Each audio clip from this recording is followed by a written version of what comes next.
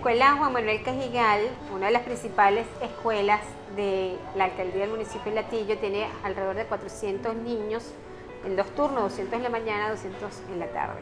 Cuando llegamos a la alcaldía nos encontramos con una escuela muy deteriorada. Eh, las filtraciones habían acabado con gran parte de su infraestructura, los pisos estaban muy mal estado, tenían un problema de luz, los baños botaban agua, entonces la escuela tendía a quedarse sin agua y había que a veces suspender clases por el problema del racionamiento de agua. Entonces, gracias a la alianza con Construyendo Futuros, que es una fundación de constructora Sanvil, se logró hacer una intervención muy fuerte, una intervención profunda en todo lo que es la infraestructura de la escuela. Se hizo todo el saneamiento de las paredes, hubo que quitar el friso viejo, poner nuevo friso, pintar las paredes, arreglar todas las luminarias.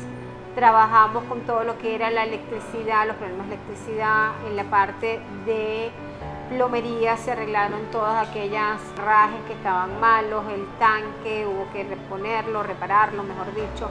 En albañilería, además de la parte de las paredes, se hicieron algunas caminerías, se arreglaron algunos de los escalones. Entonces, creo que fue una intervención muy fuerte que se le hizo a toda la escuela, un cambio total de imagen gracias al trabajo que hizo el equipo de la alcaldía de planificación urbana. Y tenemos una nueva escuela realmente gracias al proyecto de recuperar la escuela en la alianza con Construyendo Futuros.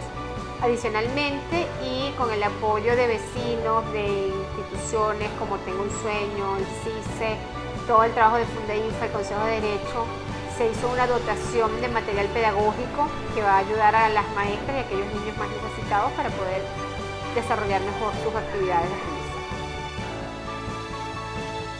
Estuvimos trabajando muchas semanas acá para mejorar la escuela. Estuvimos pintando esa pared, arreglando por allá unas caminerías para que cuando corran y eso no se caigan, mejorando algunas paredes y así ustedes puedan tener una escuela mucho más bonita, mucho más limpia y mucho más agradable para cuando estudien todos estos meses.